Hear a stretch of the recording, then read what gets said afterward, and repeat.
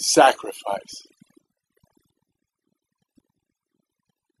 Was the serpent afraid when he traveled to Eden, awed by the size of his mission, angry that no friend would share the danger, and fearful he might yield to the temptations of paradise?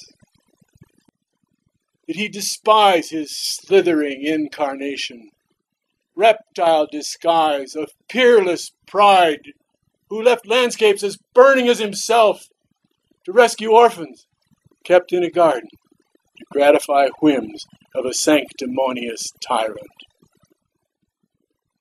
Did he long to seem, in the eyes of Eve, a rebel knight on a rearing steed whom she might tease with a toss of her head and a backward glance before he swept her away from her dull serf and his arrogant lord?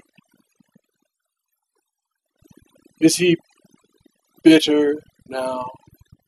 lonely, aged, and bitter, ranting by ashes in a cold hearth. Who, with a laugh, could have led astray the mother of us all, to share his journeys and to welcome his returns, but left her to Adam for some pretext that he now forgets to beget a race of fools.